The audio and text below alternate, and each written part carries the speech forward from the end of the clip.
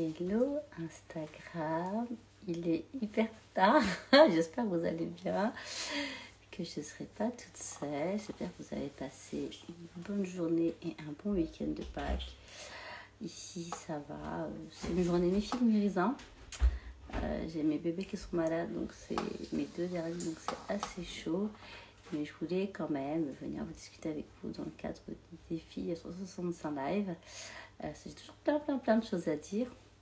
Et d'ailleurs, il faut savoir que quand j'étais à l'école, je pense que du CP à la troisième, c'est-à-dire jusqu'à la fin de collège, Salut Cynthia, il y avait écrit son bulletin à tous les trimestres. Sophie est une bonne élève, mais elle bavarde trop. Qu'est-ce qu'elle est bavarde? Toujours un truc à dire.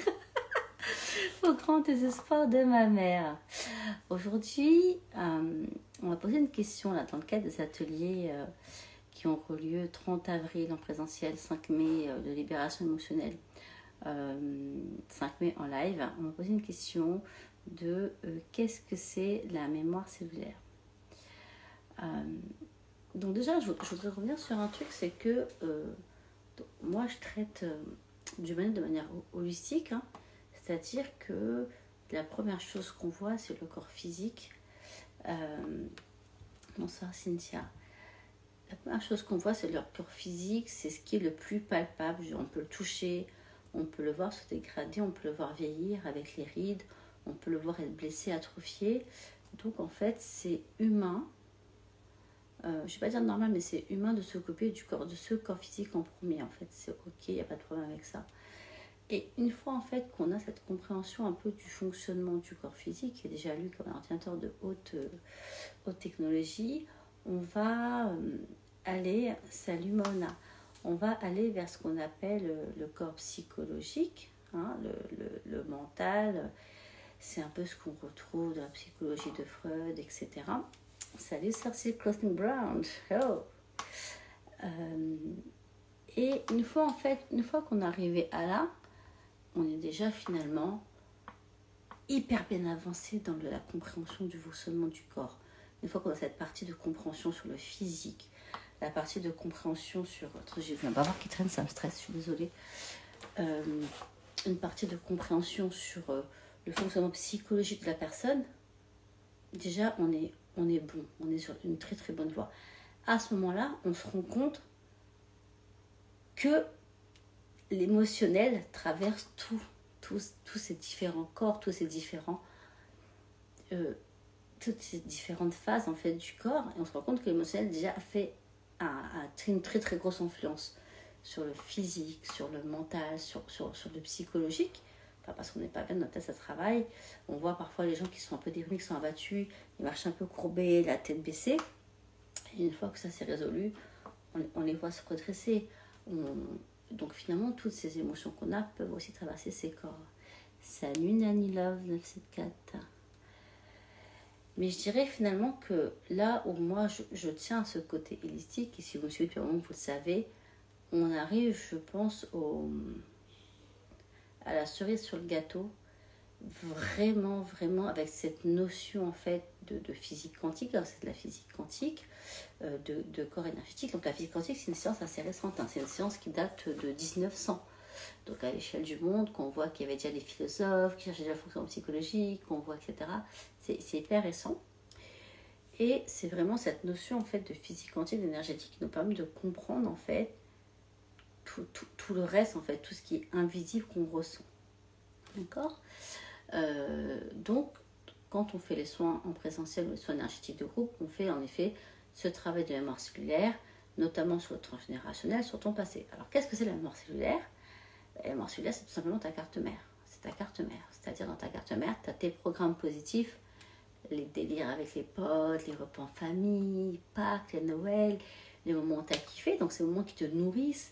C'est le moment où tu as réussi un examen que tu avais fait comme un ouf, qui te dit, ok, tu vois, je peux le faire. Ça me nourrit, j'ai confiance en moi, etc.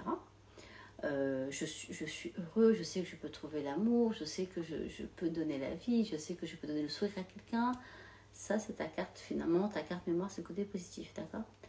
Et de l'autre côté, bah, tu as le négatif. Hein, as, évidemment, euh, bah, tu as, tous les traumas. Tu as les traumas, tu as les bagages, de, les bagages de tes ancêtres, hein, ce que j'appelle moi l'héritage transgénérationnel.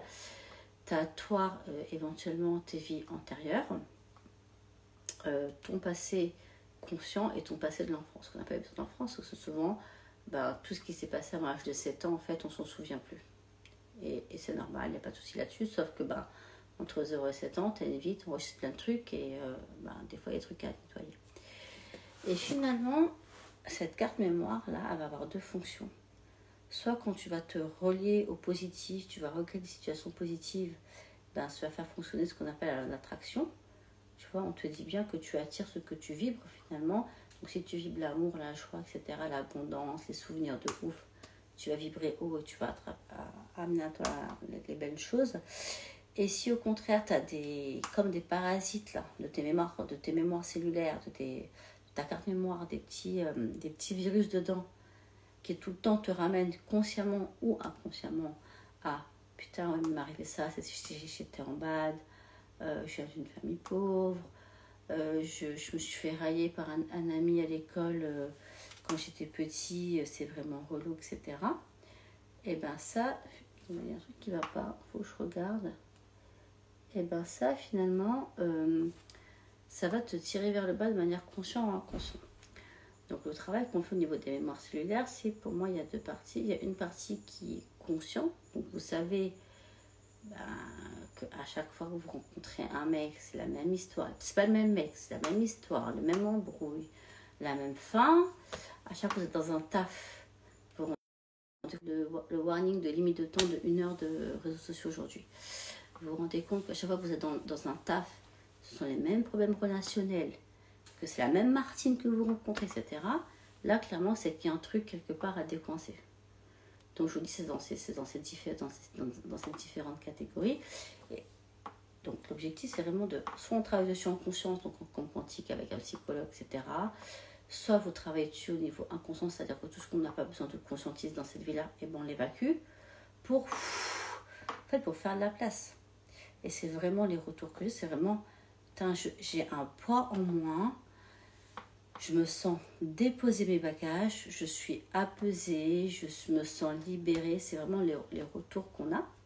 Donc la mémoire en fait euh, cellulaire, c'est vraiment ça, c'est vraiment votre carte mémoire. C'est comme vous, parfois votre téléphone il est plein et vous, vous effacez les photos qui ne servent plus.